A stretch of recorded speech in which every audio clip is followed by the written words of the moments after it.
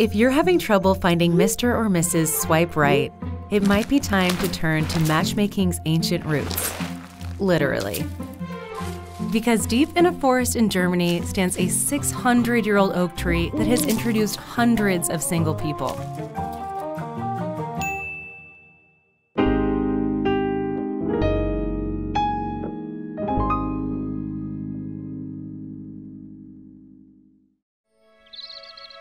It all began around 1890 when the forest ranger's daughter met a chocolate maker from Leipzig.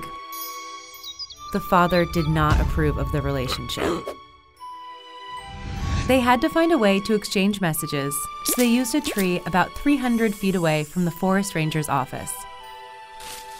A branch had broken off, forming a hole, and it was there they put their letters. Once her father learned how they were secretly communicating, he finally approved of their relationship. They married under the tree on June 2, 1891, after which the tree became known as Bridegroom's Oak. Die hat die Aufgabe einer moder eines modernen Eheinstitutes. Der Baum hat eine eigene Postadresse. Seit 1927 heißt das äh, die Bräutigamseiche 23701 Eutin Dodauer Forst. And people still send letters to the tree to this day. But can you truly find a life partner for the price of postage? No one knows better than Karl Heinz. Mein Name ist Karl-Heinz Martens. Ich wohne in Eutin. Mindestens 30 Jahre Briefträger der Bräutigamseiche in Eutin. Im Durchschnitt so fünf, sechs Briefe pro Tag. Das war dann so im Durchschnitt, mal ganz grob gerechnet, mal so 1000 Briefe, die ich im Jahr dorthin gebracht habe.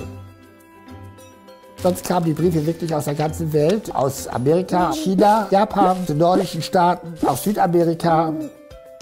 Ein anderer holt sich die Briefe raus, liest sie, wenn er da Interesse daran hat, nimmt er den Brief mit nach Hause. Insofern können da schon wirklich schöne äh, Brieffreundschaften entstehen oder aber auch äh, Ehen sind dadurch schon zustande gekommen.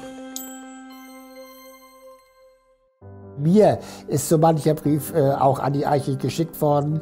Briefe habe ich sogar da. But there was one letter that caught his eye. Ich möchte Sie gerne kennenlernen. Sie sind mein Typ. Auch ich bin im Moment allein. Die Sendung von RTL hat mir gut gefallen. Renate Heinz. Eine Zeit später haben wir uns dann eben halt getroffen, ja. Wir sind nach wie vor verheiratet. Meine Frau, meine Wenigkeit, an dem Tag, wo wir geheiratet haben. Da steht das ganz groß, Hochzeit des Jahres. Ich finde schon, dass er was Magisches hat. Diese Ausstrahlung, diese, diese Ruhe, die man da hat, diese Ruhe, das kann ein Internet einem so nicht wiedergeben. Also ich kriege richtig eine Gänsehaut, wenn ich das so erzähle, weil das, das, das ist einmalig, das gibt's nirgends.